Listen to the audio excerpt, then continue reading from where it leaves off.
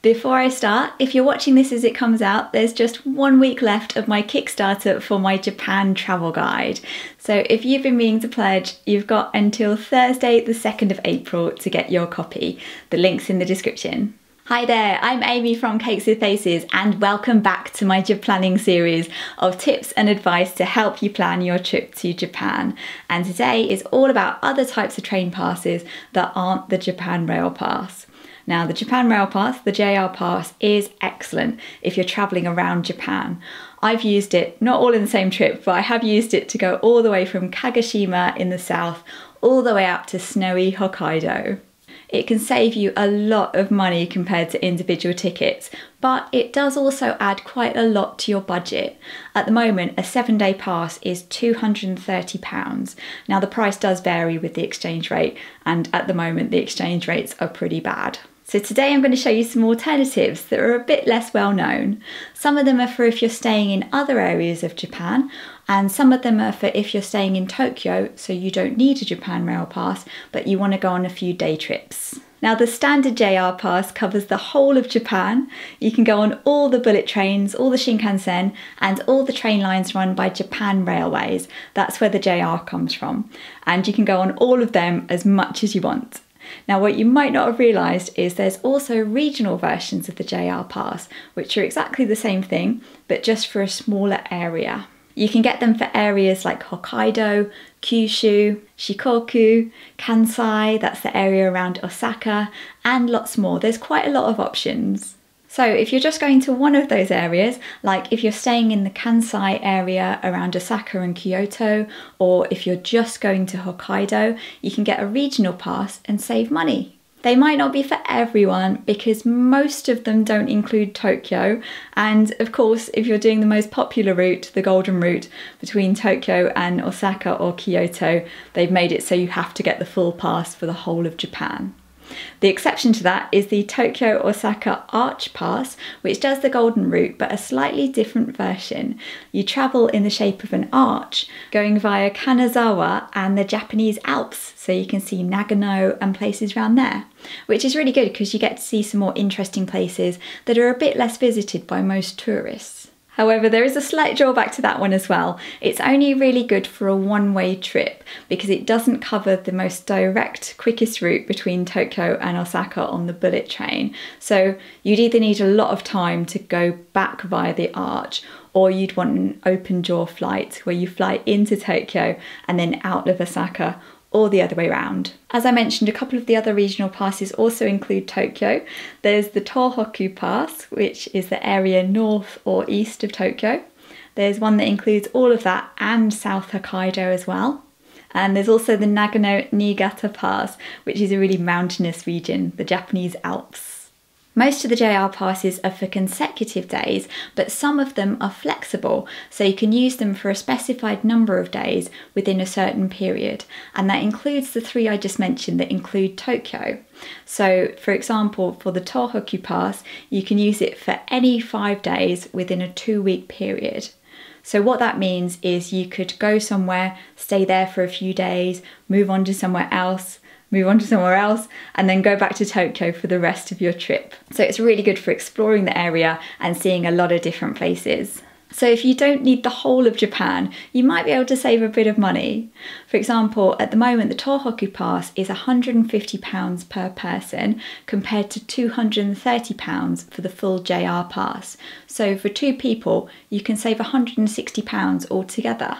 And I think being a bit more focused with a regional pass encourages you to explore the area a bit more and see all the places you could go to. And you might end up going to some places you might not have found otherwise. Most of the JR passes are only for foreigners, so you need to buy them online before you go. There are some changes coming up to the process quite soon, but I'll tell you about them when they happen. Next, the Tokyo Wide Pass is good for day trips and overnight trips from Tokyo.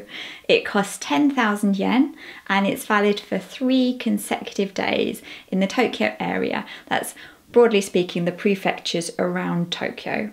There's a list on the JR East website of all the lines it's valid for, which includes some bullet train lines.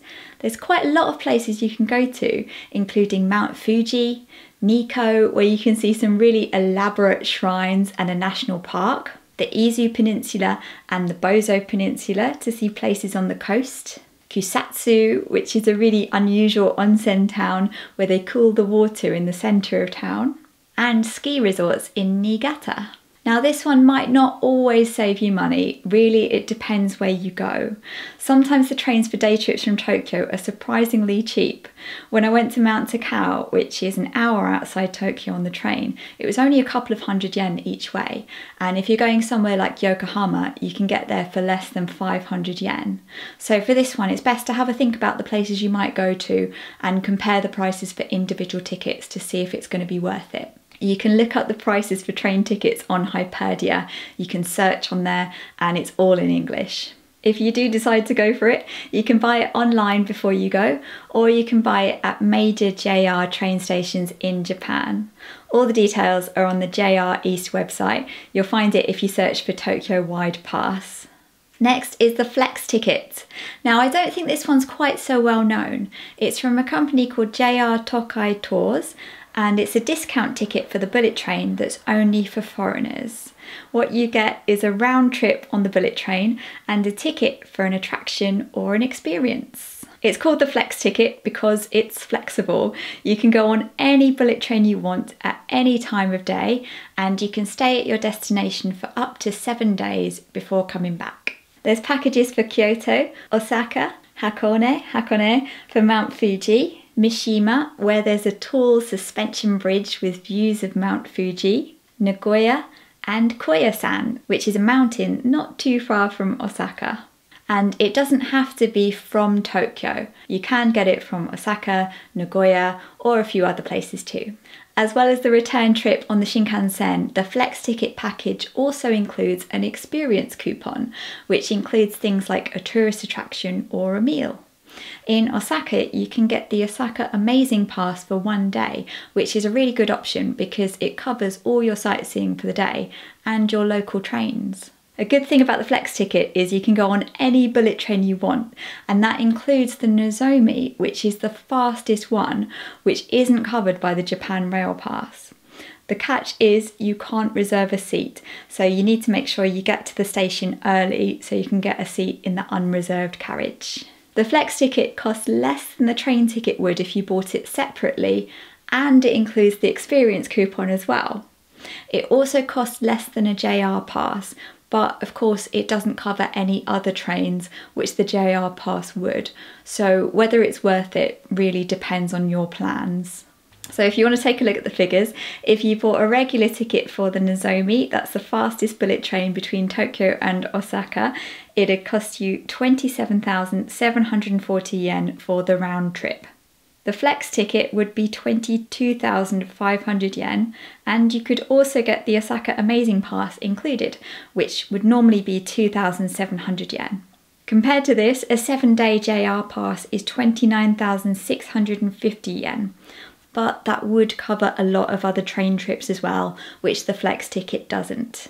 If you want to go for the flex ticket, you can get it from the JR Tokai Tours desk at major stations in Japan. It tells you which ones on their website, jrtours.co.jp/en. Next is the Platt Kodama, which is also from JR Tokai Tours. It's a discount ticket for a one way trip on the bullet train between Tokyo and Osaka or Kyoto, or one of the other stations on that line in between, like Nagoya, Hamamatsu, or Shizuoka. The catch for this one is you have to go on the Kodama, which is the slowest bullet train service. It stops at every single station along the way, so it's going to take you a bit longer. But you do get a free drink along the way. You can have a soft drink or a beer. I don't know if you know, but all these names for the different types of Shinkansen have meanings, and Kodama means tree spirit. So with the Platt Kodama, you can get from Tokyo to Kyoto for 11,900 yen for the one-way trip. But as it's the slowest service, it'll take about four hours instead of about two and a half hours on the faster trains. The flex ticket that I was talking about just now would actually be cheaper if you're doing a return trip.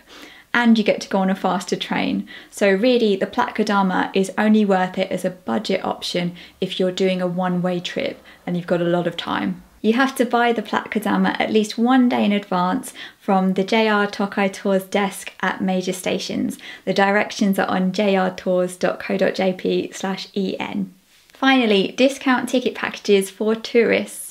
There's lots of these discount packages from the different train companies in Japan, which are really good for day trips or overnight trips. Now, often for day trips, you can just use your Suica or PASMO card, just like you would for all the other trains in Tokyo. But if you get these discount packages, they can save you a bit of money on the train. And sometimes they also have discounts on something when you get there, like for a boat trip or a meal or a cable car. The best place to find out about them is on japanguide.com. Look up the place you want to go and go right to the bottom of the page where it tells you how to get there, and that's where it'll tell you if there are any discount packages available. You can also browse the packages on the train company's websites, which can be a way of getting ideas for places to go that you might not have thought about otherwise. So, for example, on Tobu Tobu Railway's website, you can see their packages for Nikko and Kawagoe. And on Odakyu railways, there's Hakone, Enoshima, and Kamakura, which is one of the places that's known as Little Kyoto, like I was talking about last week. And they're not just for Tokyo, you can get them for other areas of Japan as well. So, for example, when I was staying in Fukuoka, I got a discount package for the train to Dazaifu and Yanagawa, which also included the boat trip I went on.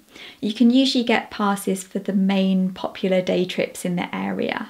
You usually buy them when you're there from the train company's desk at the station.